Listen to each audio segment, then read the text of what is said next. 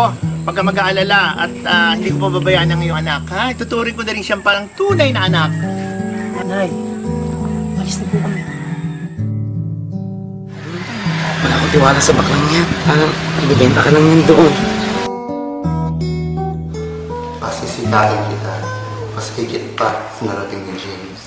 Sumunod ka lang sa akin,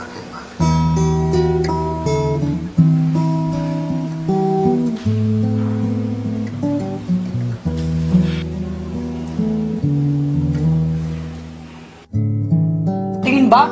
Mataas pa rin tingin ng tao sa'yo, laos ka na! Laos? You mean has been? Bobby, lahat itawag mo na sa akin, ha? Pero could've, would've, should've been ay hindi mo pwede itawag sa akin. Nakarating ako sa pinakamataas sa industry nito.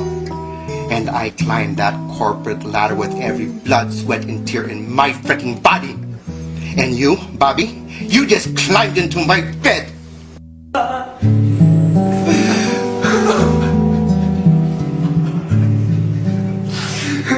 Are